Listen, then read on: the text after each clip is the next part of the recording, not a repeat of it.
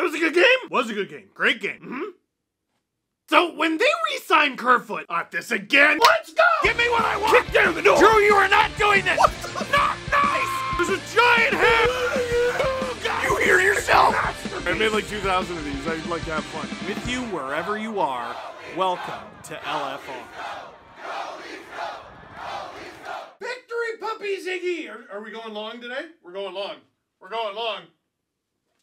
Oh, that was that was that was on me. That was on me. That was a bad one. I knocked the helmet askew. I have to fix that. I knocked the helmet askew. Leafs win three to two over the Nashville Predators on the second half of a back-to-back with travel less than 24 hours after the last game started. Why do they do this? But they won. They won. They won. The Leafs, for some reason, have an unreal record on the second half of a back-to-back. Thank you, Sheldon. What do you mean having more than one viable option in net is good for the team? God, I don't miss the Babcock years. Anyway, hey, it's March Mania. It's sports interaction. NHL, NBA, March Madness is coming to a close soon, and you know that because it's almost April, and MLB. And more! Crazy odds and the best live in play. Download the app in Ontario. You can see the QR code to download it on the screen here, or visit sportsinteraction.com slash SDPN, but only if you're 19 plus, and as always, please play responsibly. Now listen, this is nearing the end of the regular season for my 16th season doing these videos, and I've always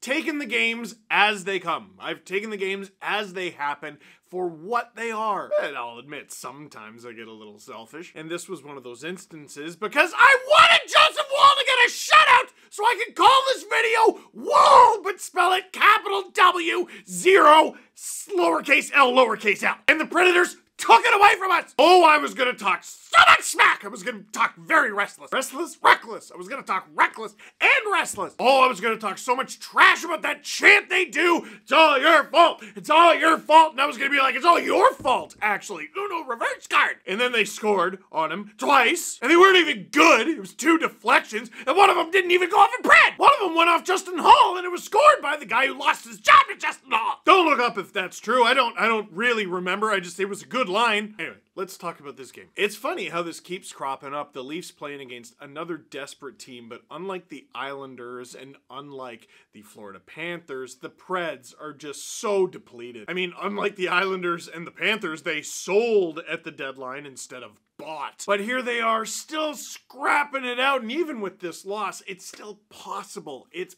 possible the Preds make it in on account of no one at the bottom of the Western Conference standing seems to give a hoot about making it. Which is weird because, like, have you seen the West? Anybody could win that thing. Just get in. You got the Flames, like, nah. And the Preds are scrapping it out, but they don't have Josi, and that really hurts. And they lose Matt Duchene during this game, which really hurts. And it's not Juuse Saros, it's Kevin Lankinen, who, even though he was pretty good in this game, it's Juuse Saros, man, and that really hurts. To start the game, can someone who knows hockey better explain how the Leafs keep getting outshot 10 to 1 to open games only to outshoot their opponent and win. For any Preds fan who was watching this going, hey, that's strange. No, it's not. They do this like every night. They do this like at least weekly. At least weekly. They do this on weeks where they don't even have a game. The Preds began this game by outshooting the Leafs 10 to 1. The final shots were 34 to 25 for the Leafs, which means after it was 10 to 1, the shots were 33 to 15 for Toronto, and they were winning almost the entire time. And it's one thing when you do that to a veteran like Matt Murray, who has struggled, but at least he's seen it before. It's another when you do this to Joseph Woll, a guy who's playing on the second half of a back to back, even though he wasn't in there, the, the, the team was, and he hasn't even hit double digit games in the NHL yet. That said, let there be no confusion after this game. This kid's the future. This kid is the future. Well, Samsonov's the future too. They're they're both the future and the present. Woll, who is a tiny baby child, was drafted in 2016, and Samsonov, grizzled veteran of the league, was drafted in 2015. Samsonov is only 18 months older than Joseph Woll. One of them's played 125 NHL games. The other has played, what, what was tonight, nine? Eight or nine? And he held the fort just long enough for the Leafs to get a power play. And man, did Mattias Ekholm tie that room together because the Preds power play was not good tonight. It was a brilliant passing play by the Leafs, that little down low and into the slot play, but you're not supposed to be able to pull it off that cleanly. It's it's only supposed to be there when it's there. And it was there because the Preds were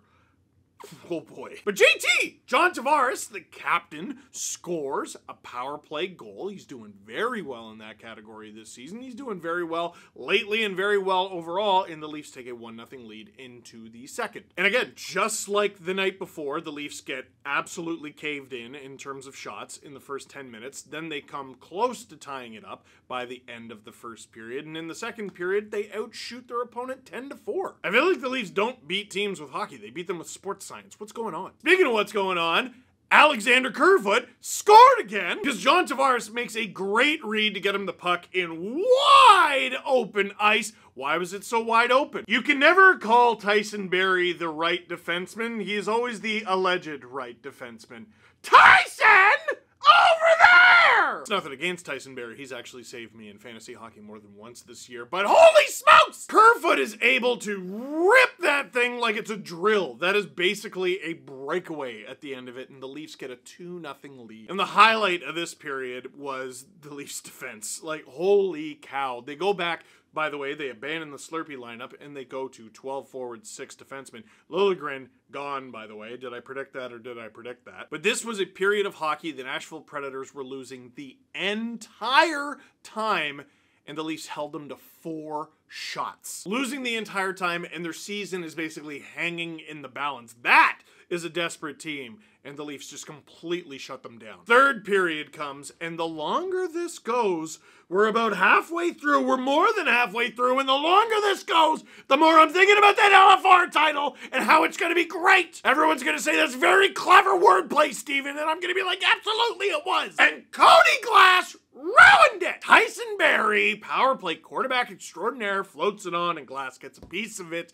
enough of it to ruin Woll's shutout, and worse than ruining his shutout, uh-oh, the Preds are within one now. Well, within one until a couple minutes later when the Leafs get a power play of their own. Cal Foote, who is slowly being driven nuts by Michael Bunting, high sticks William Nylander. You can't do that. Go and sit in the box to calm down. By the way, if you're wondering how Cal Foote, who was on the Tampa Bay Lightning last year, became a member of the Nashville Predators, uh, that's because um, Tanner Jeannot wasn't acquired for just five picks. It was five picks and Cal Foote. That trade is banana sandwich, and I, for one, am dreading him winning the Conn Smythe. Anyway, uh, where was I? Uh, the Leafs had a power play, and on that power play, once again, like Tavares is just fed and in front, and there is no Mattias Ekholm in sight. There isn't a Roman Josi. There isn't nobody. He swats it in for his 32nd of the season, third point of the night in a pretty tight game and the Leafs have the 3 1 lead. Under two minutes to go. The, Preds are limited in what they're able to do, but you really felt the desperation. You really felt the anxiety in the building, the anxiety throughout the lineup. We have to do this! They pull Lankinen for the extra attacker, and they do it. Tyson Barrie takes a shot, puts it off Justin Holl, and in. They're within one now. Fortunately, that is as close as the Preds would get.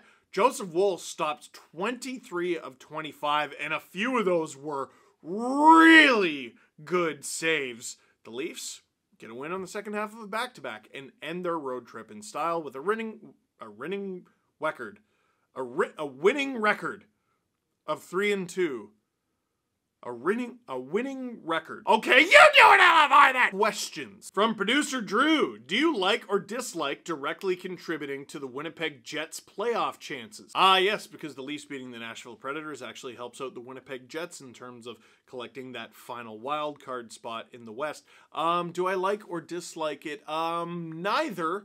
I don't spend any time thinking about the Winnipeg Jets. They do that enough to us. Should Järnkrok's shot have counted as a goal simply because Marner's header to Matthews was super sick? I say yes. Dude, Järnkrok got robbed by Lankinen, and, uh, like, I'm sorry. If that goes in, Marner heading the puck, intentionally heading the puck perfectly to a teammate for what would have been an assist I think that's more impressive than pulling off a Michigan. It okay. How many times have you seen the Michigan? Hmm. Right. How many times have you seen that? How many times have you seen that pulled off successfully? You haven't! You have not! Ignore the fact that on the broadcast they showed, I think it was Nathan Gerbe doing it. Well, N- Nathan Gerbe, the puck it, it's impossible for it to ever be at chest level because he was like five foot four. But Mitch Marner is six feet tall. I will die on the hill that he's six feet tall. Oh, that would have been. Oh! Oh! Why didn't they? Oh. At least Luke Schenn hit a guy. That was that was cool. I enjoyed that. And isn't this the question? You think we'll see Woll in the playoffs, or will it just be Samsonov and Murray? Well, isn't this interesting? Uh, because I, I believe the Toronto Marlies have clinched a playoff spot. I'd rather Woll get those games. And listen, if the Leafs can't get games out of Samsonov or Murray, uh, I think by the time Woll gets there, it's it's going to be too late. Listen, I don't know if Woll's the best goalie in the organization. I, I, think that might be a stretch. Samsonov's been great. He might be the second best goalie in the organization. And next year is going to be fascinating. Joseph Woll is signed to a ridiculous contract. It's not his ELC. The Leafs extended him. Dubas extended him a three-year deal, basically paying him league minimum. Now he makes 350 in the minors this year based on his contract from capfriendly.com. What would we do without it? But next year in the minors, he makes his full salary, nearly 800 grand.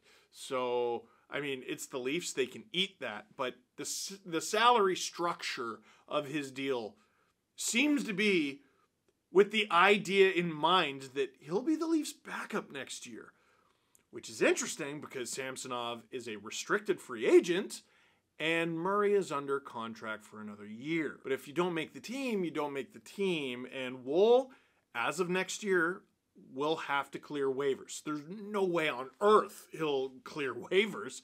So the, the Leafs have a very interesting decision to make there. But I say cross that bridge when you get there on account of this is not a problem, which it and it's an amazing problem that the Leafs have had in recent memory. Think of some of the guys who have been the backup. Forget the third stringer, like Garrett Sparks. That that was a real struggle. Michael Hutchinson, that was a real struggle. Michael Hutchinson the second time was a real struggle. Don't forget about Jonas Enroth, although it's very easy to forget about Jonas Enroth as a Leaf.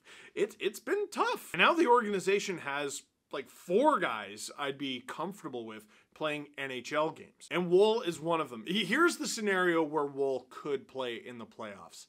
If Samsonov goes down, Murray comes in and stinks, then you got to go with Woll. I'm telling you, he's had an amazing season in the AHL. He's done very well in his very few NHL starts. He was this highly touted to begin with. People forget that because he was drafted a long time ago in 2016. COVID completely screwed up his development as a goalie. This year, he got it back on track in a big way. This is an NHL goalie, man.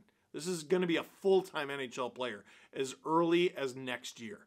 Bet on it. But that is it for this one. Thank you very much for watching. Click like if you like this video. Click subscribe if you really liked it. Tell all your friends. Oh my goodness, are you going to want to tune in to tomorrow's Steve Dangle podcast on SDPN?